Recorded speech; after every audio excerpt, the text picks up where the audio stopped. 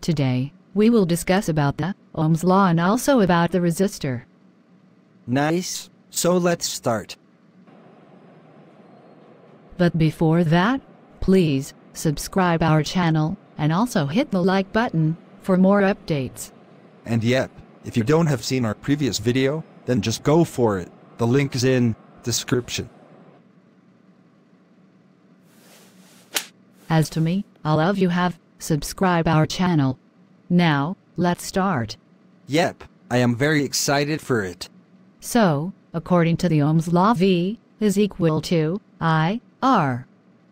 What is these? V I R. V is the potential difference. I is the current.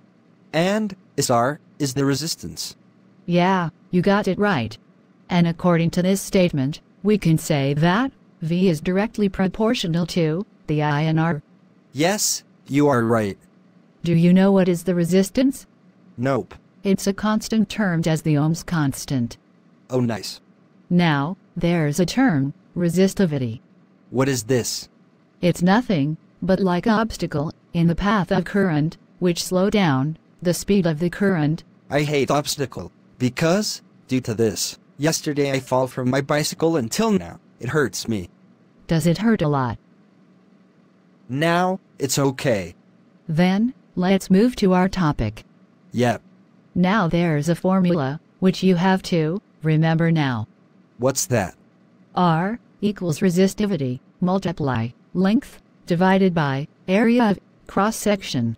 Oh, it was easy. R equals resistivity, multiply length, divided by area of cross section. Is it right? Yeah, it is and you are so smart.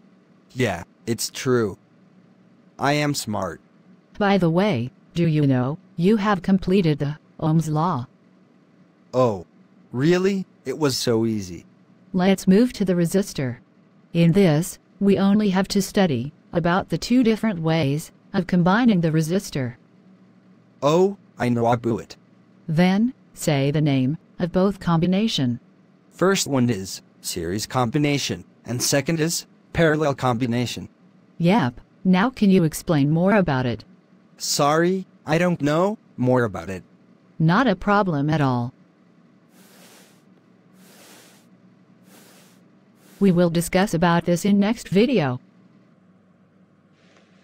Hey, if you have not subscribed yet then please, go for it now.